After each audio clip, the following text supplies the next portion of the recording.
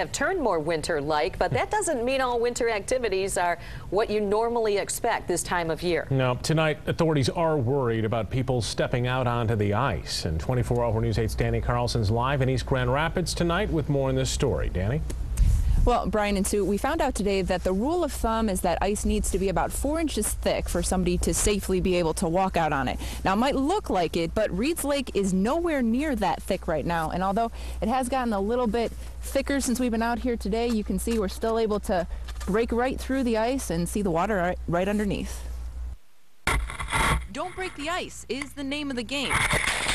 But this winter, at least right now, that's pretty much impossible. We or anybody could break right through it.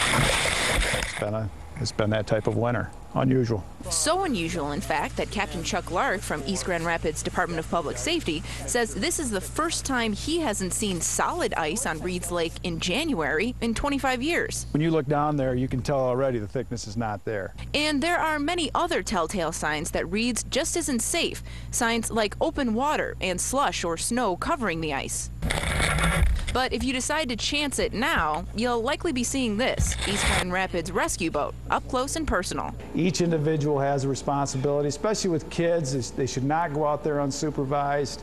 Um, it's important that you take it seriously, and if everybody does, we won't have an incident, and this boat can stay right in the garage. So for right now, heading out on the lake should only be for the birds. And also, if you do happen to see anybody else who tries to chance it and you see them out on the ice or a little bit further into the lake, that doesn't mean that it's safe. We're told that it's up to every individual to check for themselves to make sure that that ice is at least four inches thick, if not thicker. Now, we do have more tips on how to stay safe around the ice on our website, woodtv.com. Live in East Grand Rapids tonight, Danny Carlson, 24 Hour News 8.